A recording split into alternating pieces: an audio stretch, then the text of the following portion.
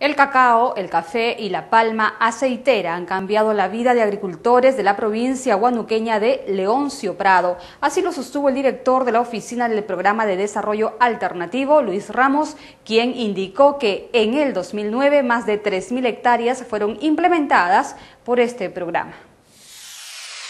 El director de la Oficina Regional del Programa de Desarrollo Alternativo PDA de Tingo María, Luis Ramos Chong, dio a conocer que el año 2009 asistió e implementaron más de 3.000 hectáreas con cultivos de cacao, café y palma aceitera en beneficio directo de las comunidades de la zona. El Programa de Desarrollo Alternativo ha venido implementando en, en temas productivos tres proyectos grandes, ¿no? El proyecto de cacao a nivel de lo que son distrito, o comunidades pertenecientes al distrito Leoncio Prado. Tenemos el proyecto de café, estamos instalando 418 nuevas hectáreas de cacao y asistiendo técnicamente también un aproximado de 700 eh, hectáreas en producción. ¿no?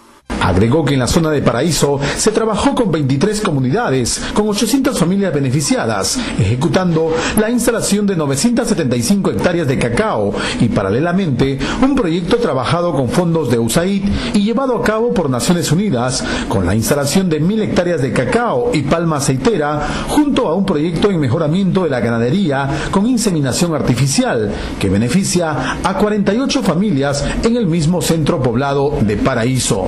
Bueno, la asistencia técnica es un tema clave para nosotros, ¿no? porque no solamente nos encargamos de incrementar áreas, sino que también los agricultores que en la fase anterior instalaron cultivos, eh, a ellos se les está dando asistencia técnica para que mejoren su producción, el funcionario precisó que el 2010 se continuará trabajando por lograr el desarrollo en las comunidades que decidieron acogerse al programa de desarrollo alternativo y al mismo tiempo se buscará que otras nuevas comunidades presenten sus propuestas de desarrollo para poder integrarlas al programa.